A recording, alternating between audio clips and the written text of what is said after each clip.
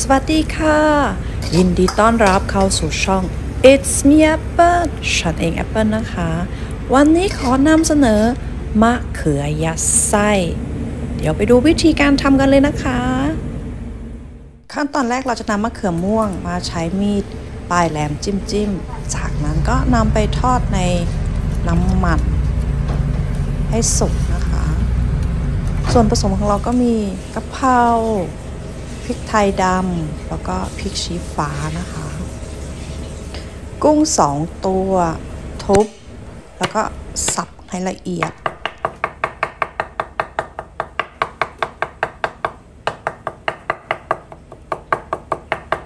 จากนั้นเราก็นำเนื้อไก่บดหรือว่าไก่สับมาสับผสมให้เข้ากันดีเลยนะคะ ส่วนเพื่อนๆอยากจะใช้เนื้อหมู เนื้อ อย่างอื่นก็ได้เช่นกันนะคะ ตามใจชอบได้เลยนะคะ จากนั้นเราก็จะนำไก่ที่เราสับเสร็จแล้ว มาลวกน้ำร้อนล้างคาวนิดนึงนะคะ จากนั้นก็ตั้งกระทะให้ร้อนใส่น้ำมันไปนิดหน่อย จากนั้นเราก็จะนำพริกกะเพราที่ทางร้านทำอาทิตย์ต่ออาทิตย์เลยนะคะ ใส่ไปหนึ่งช้อนนำไปผัดให้หอม จากนั้นเราก็จะนำ เนื้อไก่กับกุ้งที่เราสับผสมกันเรียบร้อยแล้วนำไปลวกเอามาผัดต่ออีกหนึ่งครั้งนะคะ ตามคลิปเลยหอมมากๆเลยนะคะเพื่อนๆอยากให้เพื่อนๆได้กลิ่นความหอมของพริกกะเพราจังเลยนะคะ ส่วนความเผ็ดก็ตามใจชอบตามเพื่อนๆที่อยากจะใส่พริกเผ็ดมากเผ็ดน้อยแต่ทางร้าน อันนี้สำหรับชาวต่างชาติกำลังเผ็ดพอดีค่ะหนึ่งช้อนโต๊ะพอผัดไก่ สุกพอประมาณ เราก็จะเติมไปด้วยซอสปรุงรส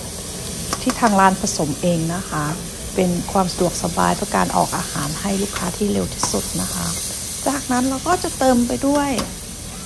น้ำซุปนิดหน่อย เพื่อที่จะมาให้ไก่แห้งเกินไปนะคะ นิดเดียวเองนะคะ ไม่ใส่เยอะเดี๋ยวจะแฉะจากนั้นก็เติมไปด้วยพริกไทยดำพริกชี้ฟ้า ผัดให้สุกพอประมาณ สีสันน่าทานไหมคะเพื่อนๆว้าวนะคะ จากนั้นพอสุกเสร็จแล้วเราก็จะเติมด้วยกะเพรานะคะกะเพรา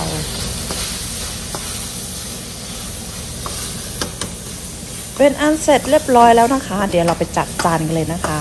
ส่วนมะเขือก็สุกพอดีนะคะ ในช่วงเวลาที่เราผัดไส้มะเขือก็สุก ได้ที่พอดี เราก็จะตักใส่จานไปจัดจานกันเลยนะคะ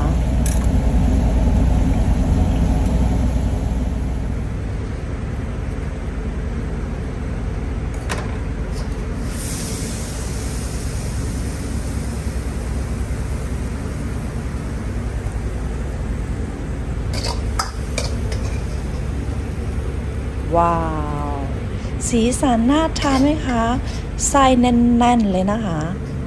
โรยด้วยพริกชี้ฟ้าหั่นฝอย แล้วก็ใบโหระพาแต่งหน้านิดหน่อยนะคะ เป็นอันเสร็จเรียบร้อยแล้วนะคะ ว้าว น่าทานไหมเอ่ย